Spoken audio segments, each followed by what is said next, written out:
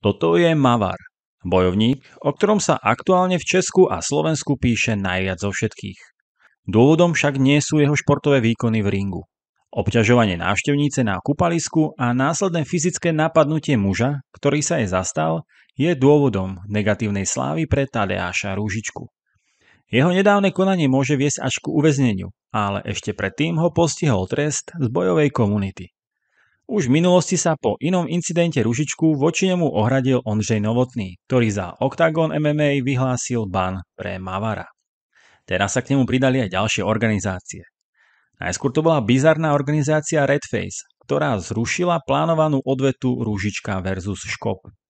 Neskôr sa pridala aj najväčšia bizarná organizácia v Česku a Slovensku Clash of the Stars. Tá takisto odmieta organizovať zápas s Mavarom. Medzi tým pridal vyjadrenie Ondřej Hutník alias Spable, ktorý oznámil, že Ružička je vyhodený zo Spable Gymu. Už tam nesmie trénovať a je otázne, ktorý gym by bol v aktuálnej situácii ochotný Mavara prijať. Na záver sa pridali aj organizácie RFA a IAF. Mavar sa mal predstaviť na spoločnom podujatí týchto organizácií v septembri tohto roku a nedávno mal oznamený aj miliónový fight na začiatok budúceho roku proti Vaškovi Sivákovi. Aj v tomto prípade sa organizácie rozhodli suspendovať Mavara. Zaujímavo rozbehnutá kariéra českého bojovníka tak dostala vážne trhliny.